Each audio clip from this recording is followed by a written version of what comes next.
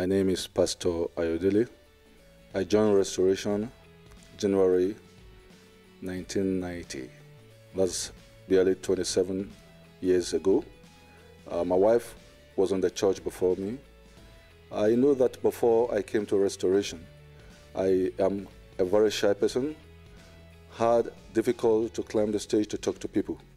But with Restoration, I've been able to face the crowd, talk to people, and apart from that, find my destiny in the body of Christ.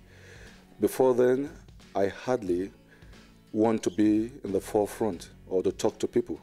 I just want to be myself. But coming to restoration has enabled me to be able to find where I belong in the body of Christ.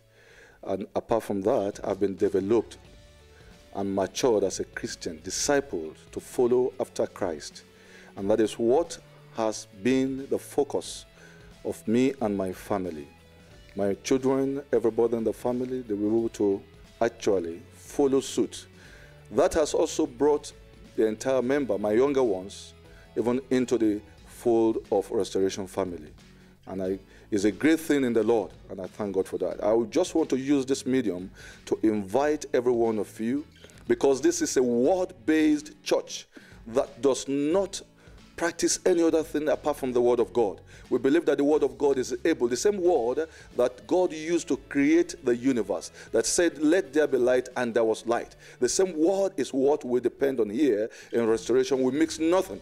And that is why I am inviting you to come and hear the same Word that is able to deliver you from every captive of the enemy.